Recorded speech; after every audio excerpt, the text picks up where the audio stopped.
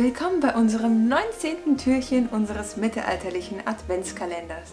Heute mit der Frage, wurde damals schon Glühwein getrunken? Und die Antwort lautet ja, nicht nur im Mittelalter, sondern sogar bei den Römern haben sie den Wein gewürzt. Und im Mittelalter galt es sogar als Heilmittel. Also wenn ihr jetzt zum Christkindlmarkt geht und ihr trinkt ein paar Becherchen oder so zu viel, dann sagt ihr, ich heile mich gerade, ja. Also ihr habt die Ausrede jetzt von mir bekommen. Äh, Im Mittelalter hieß es sogar, dass es gegen feuchte Magen hilft. Also, ja.